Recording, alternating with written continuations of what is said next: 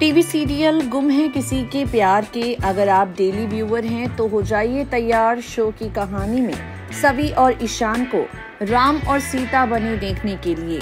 जी हाँ सभी और ईशान इन दोनों को आप राम और सीता बने हुए देखेंगे। भाई कॉलेज में रामनवमी को लेकर सभी और ईशान दोनों ही प्ले में राम सीता बनने वाले हैं। वेल well, जहाँ एक तरफ़ सभी ईशान दोनों को राम सीता बना देखकर रीवा जलन की आग में जलेगी। रीवा को काफ़ी ज़्यादा दुख होगा। तो वहीं दूसरी तरफ़ सीरियल के आगे आने वाले ट्रैक में आप देखने वाले हैं ढेर सारे ड्रामे जहाँ रावण बनकर आ जाएगा चिन्मय। जी हाँ शो के आगे आने वाले ट्रैक में आप देखेंगे, रावण बनकर चिन्मय खड़ा हो जाएगा सबके सामने।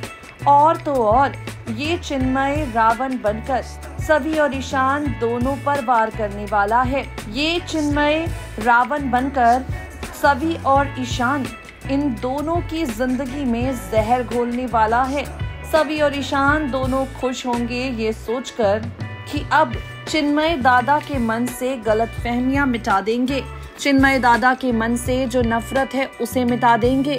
लेकिन बेचारे सभी और ईशान को पता ही नहीं है कि चिन्मय के मन से नफरत मिटाना इतना आसान नहीं है, क्योंकि रावण बनकर ये चिन्मय, सभी और ईशान इन दोनों की ज़िंदगी में बवाल लाने वाला है। देखना होगा बेहद इंटरेस्टिंग रामनवमी का ये एपिसोड सभी और ईशान की ज़िंदगी को किस मोड़ पर लेकर जाता है।